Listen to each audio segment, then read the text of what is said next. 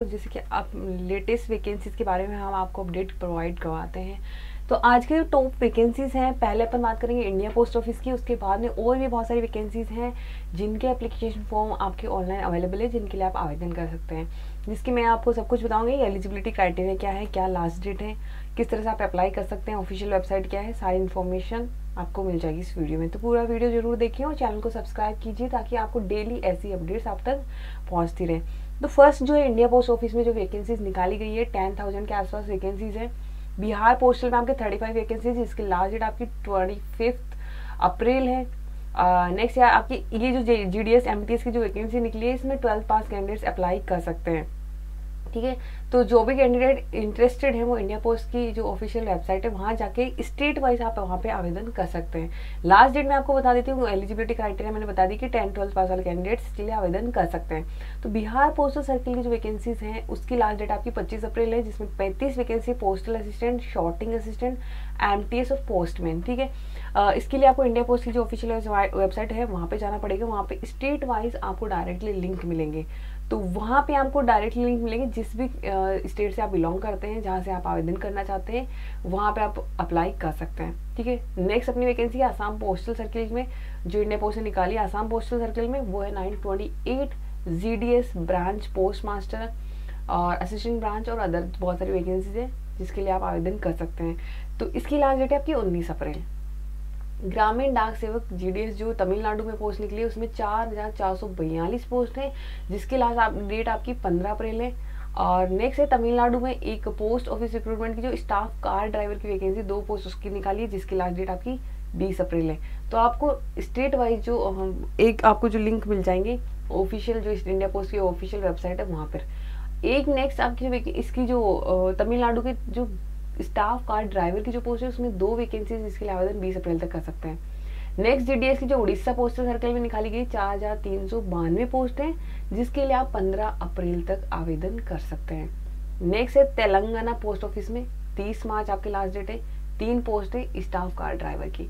ये वैकेंसीज है जो कि पोस्टल सर्कल में निकाली गई मतलब इंडिया पोस्ट के द्वारा निकाली गई स्टेट वाइज टोटल दस हज़ार के आसपास वैकेंसीज है, जिसके लिए आप आवेदन कर सकते हैं डायरेक्टली ऑफिशियल वेबसाइट पे जाके।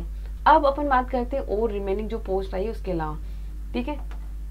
अभी जो यूपीएससी ने जो वैकेंसी निकाली है यूपीएससी ने निकाली है जियो साइंटिस्ट और जियोलॉजिस्ट के एप्लीकेशन फॉर्म निकाले हैं, जिसके लिए आवेदन आप जो कर सकते हैं 20 मार्च से इसका नोटिफिकेशन जारी हो गया है।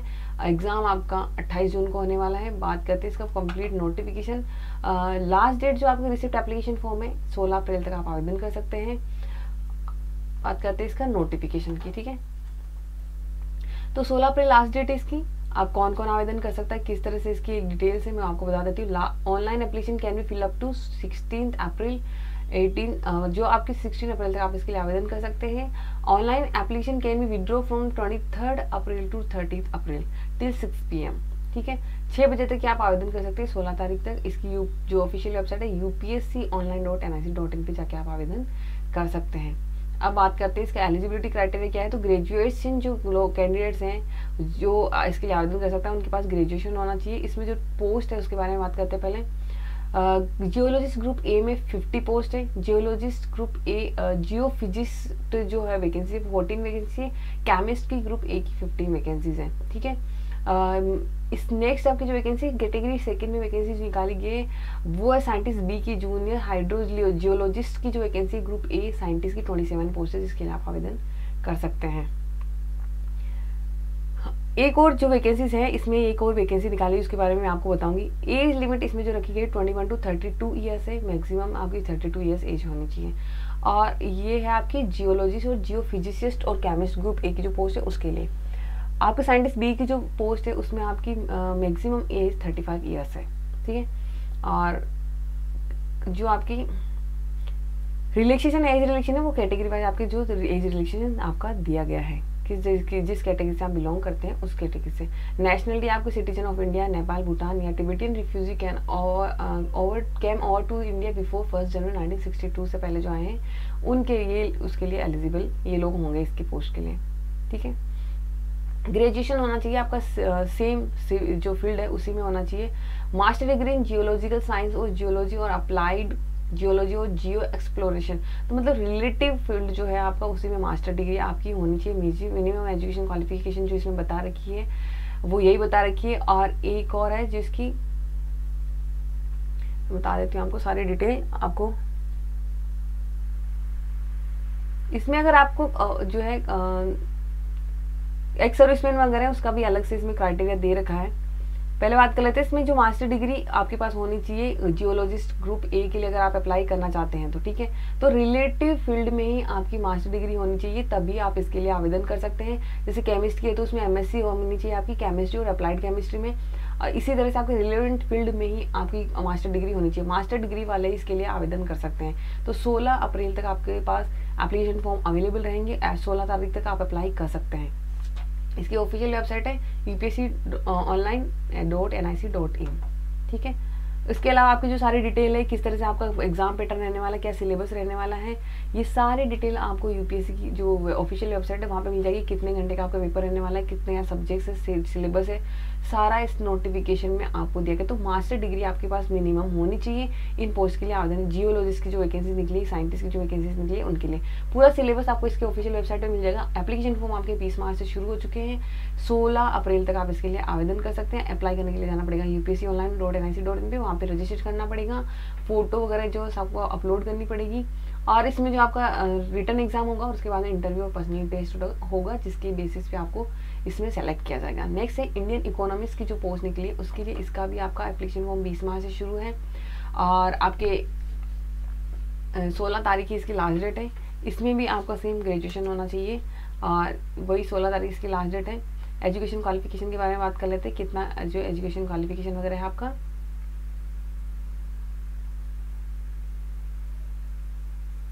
मिनिमम एजुकेशन क्वालिफिकेशन आपका है graduation in post graduation in economic तो आपको इसमें भी मास्टर डिग्री होनी चाहिए इकोनॉमिक्स में। तो इकोनॉमिक्स में अगर मास्टर डिग्री कर रखी है आपने अप्लाइड इकोनॉमिक्स में या बिज़नेस इकोनॉमिक्स में इकोनॉमेट्रिक्स में तो आप इसके लिए आवेदन कर सकते हैं। मिनिमम क्वालिफिकेशन आपकी मास्टर डिग्री इन इकोनॉमिक्स ठीक है? फ़ीस जो आपके इसमें फ़ीस वगैरह है, इसमें एक और क्राइटेरिया देगा फ़िज़िकल स्टैंडर्ड भी इसमें आपका मैच होना चाहिए, जो आई, अगर आप इकोनॉमिक सर्विसेज़ के लिए अप्लाई कर रहे हैं तो ठीक है? आवेदन करने की आपकी लास्ट डेट सोलह अप्रैल है। सोलह अप्रैल तक आपको आवेदन करना है। UPC online dot N I C dot in पर जाके आप आवेदन कर सकते हैं। एक है आपकी एज लिमिट के बारे में आपको बता देती हूँ। एज लिमिट आपकी twenty one to thirty years है। Thirty years maximum age limit है। इसमें फ़र्स्ट अगर दो हज़ार उन्नीस के अकॉर्डिंग आपकी जो है कंसिडर की जाएगी। ठीक है? तो ये एज लिमिट है मास्टर डिग्री होनी चाहिए आपके पास और इसमें जो रिज़र्व कैटेगरीज होंगी ई जो जन, आपकी, जिस तरह से भी आपकी रिज़र्व कैटेगरी पोस्ट इसमें वैकेंसीज कितनी है, इसके बारे में क्लासिफिकेशन नहीं दे रखा है। लास्ट डेट आपकी सोलह अप्रैल है, आज के लिए आवेदन कर सकते हैं सोलह अप्रैल तक। तो मास्टर डिग्री आपके पास होनी चाहिए, अगर आप इकोनॉमिक्स की सर्विसेज़ में आप जाना चाहते हैं। ठीक है? नेक्स्ट आपकी जो अभी वैकेंसी आने वाली है, दिल्ली में दस हज़ार पाँच सौ इक्यानवे पोस्ट की भर्ती जल्द ही आने वाली है। तो ये भर्ती आपकी एप्लीकेशन फॉर्म आपके पंद्रह हज़ार, दस हज़ार के आसपास जो टीचिंग्स की वैकेंसीज आने वाली है, वो जल्द ही इसके एप्लीकेशन फॉर्म शुरू होंगे दिल्ली अधीनस्थ सेवा चयन बोर्ड के द्वारा। तो ये एप्लीकेशन ये न्यूज़ आई है अभी तक, इसका एप्लीकेशन फॉर्म जल्दी शुरू होगा। तो ये अपकमिंग वैकेंसीज में है। टीचिंग में जो भी कैंडिडेट्स इंटरेस्टेड हैं वो इसके लिए आवेदन कर पाएँगे। जल्दी इसकी अपडेट हम आपको दे देंगे जिस जब भी इसका एप्लीकेशन फॉर्म आवे स्टार्ट होगा। ये डी ट्रिपल एस बी के ऑफिशियल वेबसाइट पे जारी किया जाएगा। एक सप्ताह में जो है, एक सप्ताह मतलब इसी वीक में आपका एप्लीकेशन फॉर्म शुरू हो सकता है। ऐसा इसमें बताया गया ऐसी न्यूज़ आई है। तो ये अपकमिंग वैकेंसीज है। अब यू पी में जो वैकेंसीज निकाली गई, चार हज़ार एक सौ दो पोस्ट है, जिसके लिए आप आवेदन कर सकते हैं। इसका एप्लीकेशन फॉर्म आपका यूपी एनर्जी डॉट इन पे अवेलेबल है। इसमें जो वैकेंसी निकली है वायरमैन इलेक्ट्रिशियन लाइनमैन इलेक्ट्रिकल तो इसमें जो आपका क्या होना चाहिए एनसीवीटी या एससीवीटी से आपका डिप्लोमा होना चाहिए इन रिलेवेंट ट्रेड ठीक है? तो जो एनसीवीटी एससीवीटी से अगर आपने डिप्लोमा कर रखा है रिलेवेंट ट्रेड में तो आप इसके लिए आवेदन कर सकते हैं। इसमें आपका कंप्यूटर का ज्ञान होना चाहिए और बेसिक स्किल टेस्ट आपका होगा इसमें। मैक्सिमम एज आपकी 40 साल है 18 से 40 साल वाले इसमें आवेदन कर सकते हैं। कैटेगरी वाइज आपको एज में जो रिलैक्सेशन दिया जाएगा। एप्लीकेशन फ़ीस आपकी है जनरल वालों की थाउज़ेंड रुपीज़ है अदर वालों की सेवन हंड्रेड रुपीज़ है जहाँ आवेदन करने के लिए आपको जाना पड़ेगा U P P C L dot O R G पे, जहाँ से आप एप्लीकेशन फॉर्म भर सकते हैं। तो एजुकेशन क्वालिफिकेशन आपका होना चाहिए। एन सी बी टी या एस सी बी टी से आपका डिप्लोमा होना चाहिए, ठीक है? आपका ऑनलाइन एग्जामिनेशन होने वाला है। उसके बाद में आपका जो कम स्किल टेस्ट भी होगा रिलेवेंट ट्रेड से। चार हज़ार एक सौ दो पोस्ट है जिसके लिए आप आवेदन कर सकते हैं। नेक्स्ट अपनी वैकेंसीज हैं। बीएसएफ में। इसकी जो वैकेंसीज निकाली गई हैं बीएसएफ में, इसकी लास्ट डेट आपकी दिसंबर तक है। ठीक है? इसकी मैं बता देती हूँ आपको।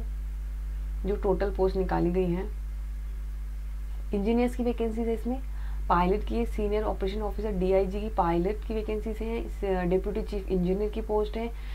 टोटल इसमें जिस तरह से जिस जिस विंग में आपकी जो वैकेंसी आपको पोस्टिंग दी जाएगी टोटल 58 पोस्ट है, जिसके लिए आप आवेदन कर सकते हैं। B S F dot N I C dot in पर आपको इसका नोटिफिकेशन जारी और नोटिफिकेशन मिल जाएगा। इकतीस दिसंबर तक आप जो है कैन अप्लाई इकतीस थर्टी फ़र्स्ट दिसंबर। थर्टी फ़र्स्ट दिसंबर 2019 तक इसका एप्लीकेशन फॉर्म आपका अवेलेबल रहेगा, जिसके लिए आपको जाना पड़ेगा इसकी ऑफिशियल वेबसाइट पे B S F dot N I C dot in पे, वहाँ पर आपको इसका एप्लीकेशन फॉर्म मिलेगा, जहाँ से आप आवेदन कर सकते हैं। वैकेंसीज आपके अलग अलग वैकेंसीज है लॉजिस्टिक ऑफिसर्स की है इंजीनियर्स की वैकेंसीज हैं, उसके अलावा जो इसमें, जो भी आपकी लास्ट डेट है थर्टी फ़र्स्ट दिसंबर है थर्टी फ़र्स्ट दिसंबर तक आप इसके लिए आवेदन कर सकते हैं। अब बात करते हैं एलिजिबिलिटी क्राइटेरिया की।